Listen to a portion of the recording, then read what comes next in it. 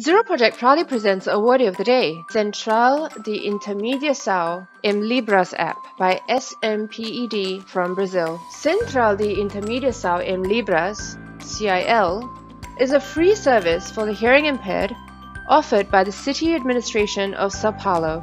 Via an app, users can communicate with municipal civil servants and emergency services personnel in Brazilian Sign Language for free and also without affecting their data download limit.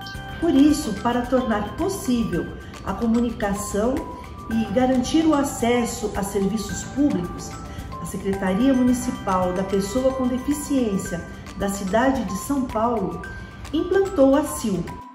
Says Sylvia Greco from the City Administration of Sao Paulo.